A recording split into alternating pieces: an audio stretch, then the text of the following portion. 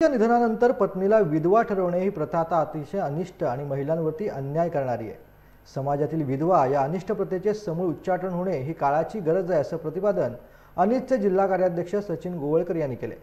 समाजात वावरताना स्त्रियांनी व्रतवैकल्य कर्मकांड यातून बाहेर पडून वैज्ञानिक दृष्टिकोन स्वीकारला पाहिजे असंही सचिन गोवळकर यांनी सांगितले.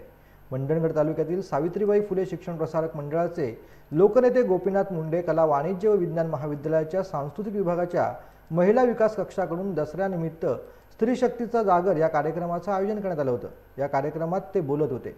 या कार्यक्रमाला अध्यक्ष विजय पोटपुडे प्राचार्य doctor Rahul Jadhav doctor Ashok Salunke doctor Sangeeta घाडगे खेड शाखा कार्याध्यक्ष सचिन शिर्के मंडणगड शाखा कार्याध्यक्ष प्राध्यापक अरुण ढंग इतर सहकारी प्राध्यापक व शिक्षकेतर कर्मचारी यावेळेला उपस्थित होते.